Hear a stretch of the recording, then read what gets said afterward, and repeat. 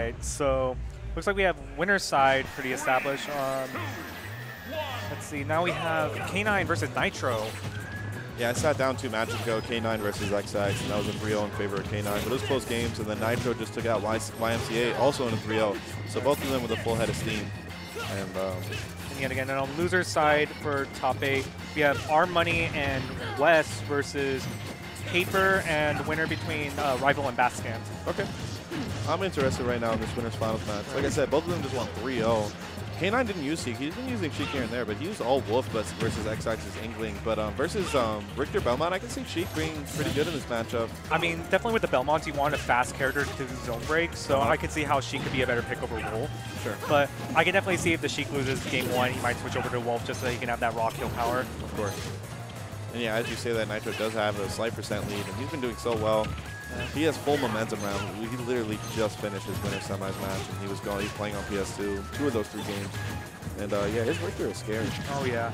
And I feel like the bad thing about the Sheik matchup is that you know, like she can get in, but even if she does get in, unlike characters like DK or like heavy grapplers that like once they get in, they do like stupid amounts of damage. Mm -hmm. Sheik can hit you for like a 20 hit combo and all of a sudden you're at like 18%. But ooh, bad up smash read, like good catch on the bouncing fish. Yeah, he's been doing very well covering the high recoveries. He got it with the up air last set, and that time with the up smash. Now let's see what type of extra credit you get. Nice downward angled back air. Ooh, I like the option there from K9 right there, the, going for that up smash. But unfortunately, not going to be able to quite find it smart. But yet again, uh, Nitro is just really keeping Sheik in the corner and not letting her get in at all. I'm not going to lie, this Richter Belmont is so smooth. The uh, angled, the angled aerials, the, the way he's just weaving in and out, trying to go for these frame traps. I don't, I don't know if K9 just has the experience. Who does have the experience versus a Belmont play like this, you know? I mean, really, in SoCal, it's just it's Nitro. Nitro it's Nitro and uh, T3 Dome. Okay, they're the two Belmont players. Yeah, they're the two Belmont players. But T3 Dome kind of very rarely shows up. He's a UCI player, so he shows up to the UCI tournaments and the occasional like MSM. Gotcha. Oh, look at him. Just all over the place, and right now he's just doing his best to keep his first stock alive and that jab's not going to do it. Long recovery. Oh, and, not quite. Yeah. Yet again, like that close but not quite. And I believe like it's so stupid. Like the if you angle your your whip up, like you actually get more tether range on it. Sure. So it's one of those things where like if a Belmont has to up B to recover, like they're probably dead. Yeah, right there, I think he was just afraid K9 was going to jump off stage. But it's okay. 134% right now in K9. Uh, Belmont, Richter Belmont gets kill with a multitude of things here. Let's see what uh, what Nitro goes for. I mean, at this point, he just needs one tipper whip at any at any of his moves, like right. up tilt, uh, forward air, back air, even forward tilt probably would kill at the ledge. Up B, not going to kill great DI from K9. You saw the way he shot laterally. That, that was very good DI. I mean, that's the really hard thing about playing the Belmonts is that unless you get that holy water to forward smash mhm. confirmed, you're not killing until like 180, 200%. Right.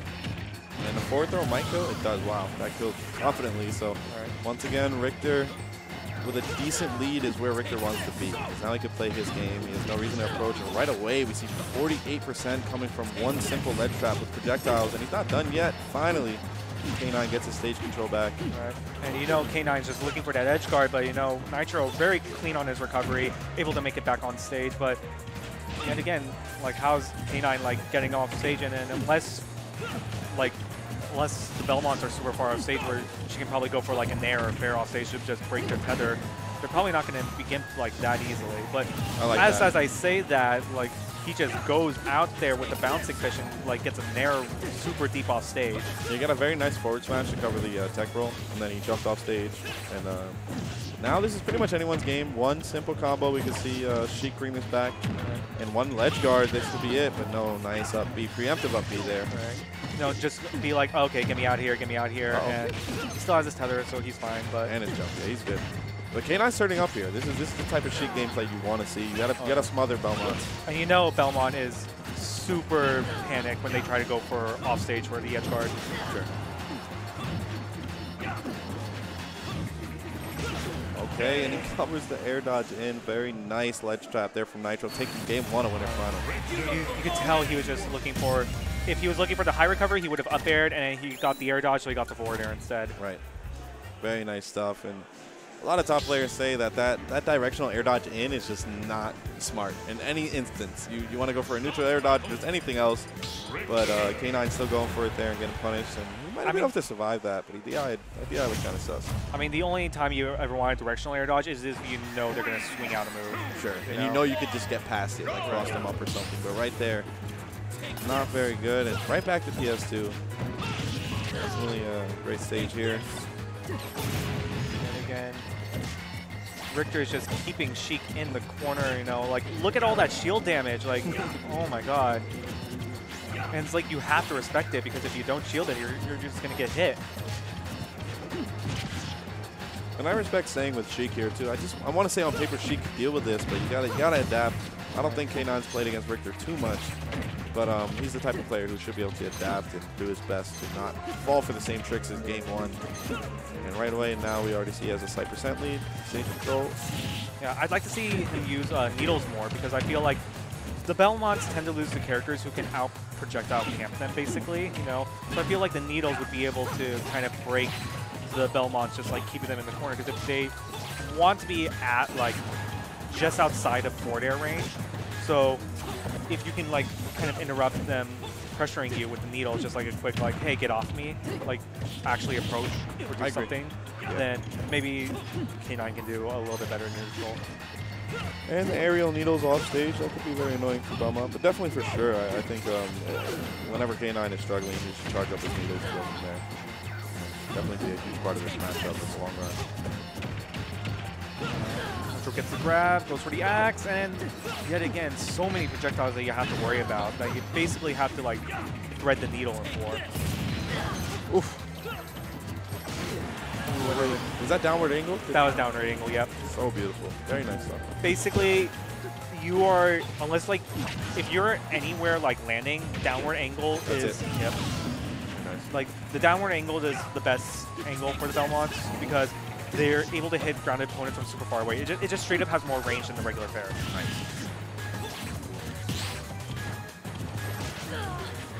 Yeah, I, play, I played against Nitro uh, a few months back. I literally lost to the aerials. I respect it because if I try to use Belmont right now, my, my angled aerials aren't going to be as smooth. You know, it's definitely something you got to lab out a bit. I mean, yeah, I know like uh, a lot of things that I, like I was interested in because I play a little bit of the Belmonts is that uh, you know if you don't play on GameCube controller, you don't have the notches. Like there are people that will make pro controllers that have the notches like built into the, the plastic, The ones that are specific to, to, to like that angle that you want to throw it at. or just just the general like eight degree angles. Okay. So like the the basically the GameCube angles. Okay, okay. Nice. Hey, and, then, and then you have the analog stick, that, the Pro Controller analog stick, which is probably a little bit more responsive, right? Right. Makes sense.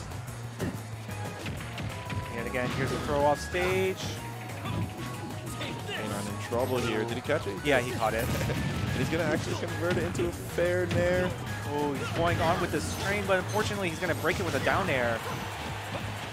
Now 145 Sheik will die to forward tilt. Um, I was not agreeing with that down air. Like, I feel like he wanted, he was expecting him to throw out the holy water. He wanted to catch him with an aerial. Okay. And at that point, like the only aerial that I could really do at that point was there, but Did not see worth the way he reversed that? The, he, he hit him with the holy water, and then he hit him with a reverse nair to hit him back towards the ledge. And now Nitro with full stage control, up a stock. This is almost enough to kill Sheik if he if he can catch Sheik with something into a forward smasher. Oh, very nice tether, down air. and again, Nitro's running with this game too right now. Right. You know, it's so hard to catch a Belmont when they have the lead because all they're because at that point they don't have to commit. And look at that tether grab range. That's just insane.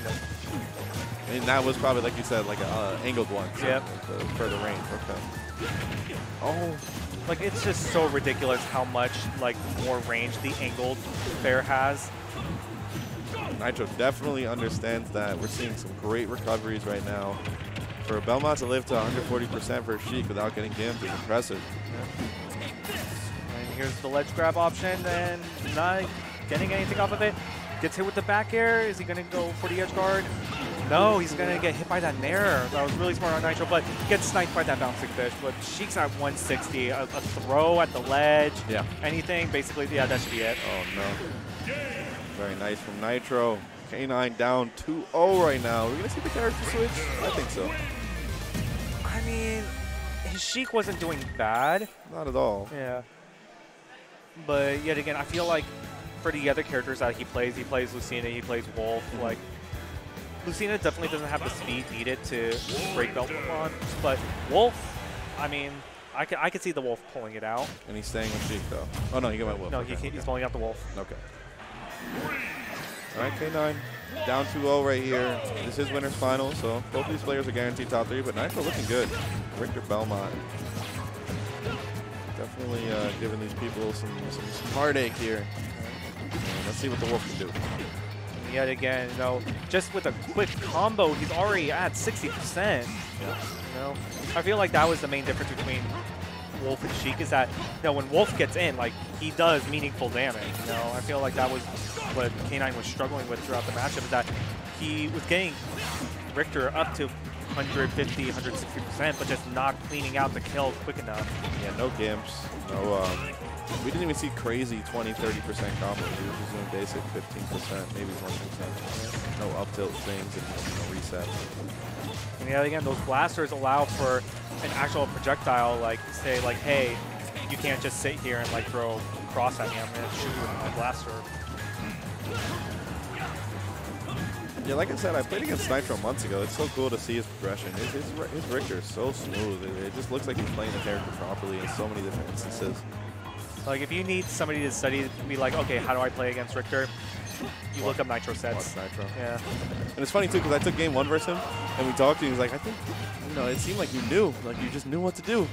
But then he adapted and he won two, two and three. You know, and that's first Richter. It's probably pretty even. It's not like it's a crazy matchup. I mean, I've, I've seen what Nitro has done to Lumbre. Like, Oh yeah, he knows the matchup too. He plays against net players. yeah.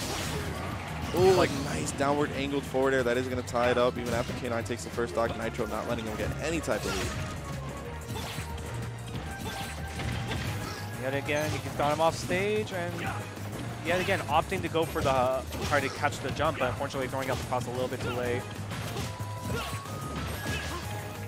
I mean, you can tell a high, what a high caliber Richter is because they don't just do cross into like uh, holy water. They usually do cross into short hop, and then they wait for whatever option you're going to pick. Usually, it's going to be fair or bair. Yeah. It's just those aerials right there. They, they're so scary. And he's, the way he's using the PS2 platforms, it just seems like he's very comfortable in the way this stage is laid out. And um, in these last two sets, we've seen Nitro get to go to PS2 a lot. He just seems in his comfort zone. And uh, K9 just not adapting I mean, the, quite fast enough yet. Yeah, the, the platforms also provide like a roof over his head, you know, because a lot of Richter's weaknesses is, you know, the, the overhead, like that 45 degree, like right above him. Sure. So, yet again, sitting underneath those platforms makes it a little bit harder for somebody to come in on top of Richter to punish his uh, options. Uh, kudos to Nitro being so comfortable on such a popular uh, stage because a, player like K9 is like, oh, I'll go to PS2. I love PS2. But Nitro just seems to love it a little bit more. Nice parry. Not going to get the punish, though. But it's all right. Nitro right now currently getting 67 extra credit. Uh, he should be able to come back to the back air air dodge. Is he going to be able to jump off stage? Oh, he, Oh. he wanted the back air so much, but he realized that he probably couldn't be able to get it without dying. Right. And because of that, now Nitro gets the frame trap opportunity. Nice up smash, going to punish that lift up B. But we've seen this time and time again. This is sufficient extra credit now. 98% on K9 on his winner's bracket stock. I mean, I wouldn't put K9 out of the match yet. I mean, all he needs is just one solid nair off stage to just give him. Nitro's been doing so well at just avoiding those bad situations. Meanwhile, K9 is in a terrible situation right now. This just looks miserable. Stop. Why is that hitting?